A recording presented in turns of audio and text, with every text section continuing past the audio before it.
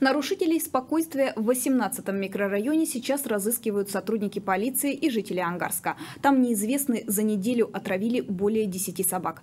Действительно ли смерть домашних питомцев – это дело рук злоумышленников, расскажет Даниил Седов.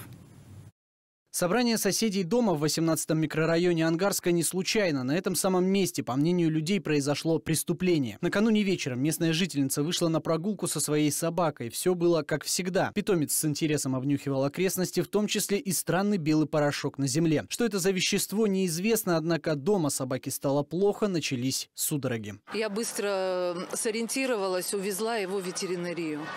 Там он у меня скончался. Сто процентов нам не сказали, что это отравление, потому что, видимо, это первый был такой случай. Но в 18-м микрорайоне это уже не первая трагедия. Всего за одну неделю более чем у 10 человек скончались домашние питомцы. У всех этих эпизодов один и тот же сценарий – прогулка, возвращение домой, судороги и мучительная смерть. Поэтому местные жители уверены, что в микрорайоне орудуют док-хантеры, они раскидывают яд по дворам. Собачники начали звонить, и как это случилось, потом у нас началось между собой общение. Оказалось, что у одного собака погибла, у другого, третья оказалось, это, ну, это как снежный ком стало нарастать.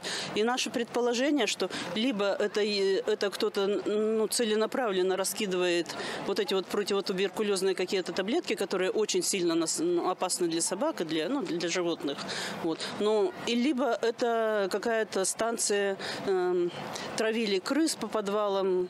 Что за подозрительный белый порошок рассыпан на земле в ангарских дворах, только предстоит выяснить. Самое странное и удивительное в этой истории, что от рук неизвестных страдают домашние животные. А док-хантеры чаще всего вымещают свою злобу на бездомных собаках. Но даже этому есть объяснение. Дело в том, что в городе нефтехимиков численность беспризорных четвероногих резко сократилась за счет работы волонтеров. Получается, что если нынешние смерти животных – дело рук злоумышленников, то, возможно, в этих действиях есть какие-то личные мотивы?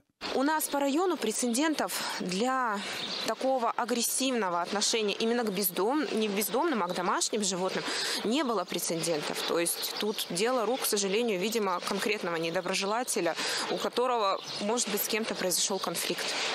Да, к сожалению, такое бывает. Все мы по-разному реагируем. У кого-то травма была на собак, еще что-либо. Ну, но это не повод. Это не повод, потому что сейчас есть статья. Причем статья уголовная, которая предусматривает лишение свободы сроком на 5 лет. Сейчас полиция Ангарска ищет подозреваемых. И если на злоумышленников удастся выйти и найти состав преступления, дело будет заведено. Данил Седов, новости по будням.